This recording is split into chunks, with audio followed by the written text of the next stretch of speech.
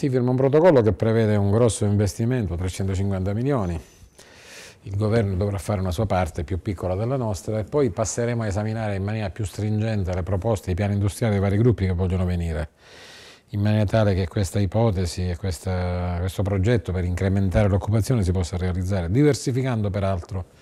anche rispetto all'automobile, che deve restare, deve restare forte, ma si guarderà anche ad altro perché abbiamo tante altre proposte che riguardano anche altro, quindi dire, nessun ottimismo o pessimismo, siamo sulla buona strada, ci stiamo lavorando da tempo notevole, forse un anno, non lo so, non so a quante centinaia di incontri si è partecipato, il protocollo è stato ratificato dalla Giunta un'ora fa, domani saremo a confronto col Ministro e dopo la firma passeremo alla fase operativa perché bisogna chiudere il più presto possibile.